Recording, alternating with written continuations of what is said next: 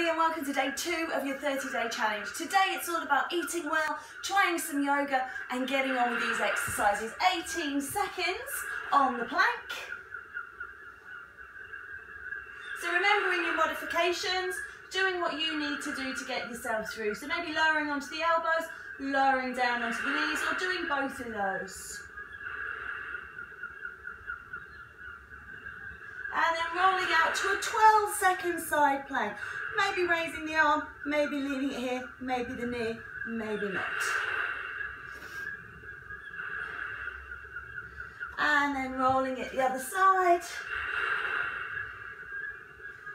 12 seconds here if you can manage it. Just remembering the buzzwords from yesterday, be kind, always be kind to yourself. Coming down, 10 crunches. Semi-supine, protect your back, lifting and lowering.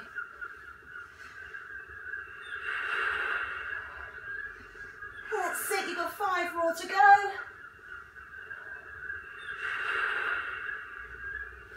And last one, good. Into those bicycles. You can bring your shoulders down or you can bring your shoulders up. I never know with these if you're supposed to do both legs as one count or one leg as one count. So we'll just keep going the moment and nice and easy. Four, three, two, and one. Excellent. Nice and easy again. You have a fantastic day and I'll see you tomorrow for day three. Have a great day.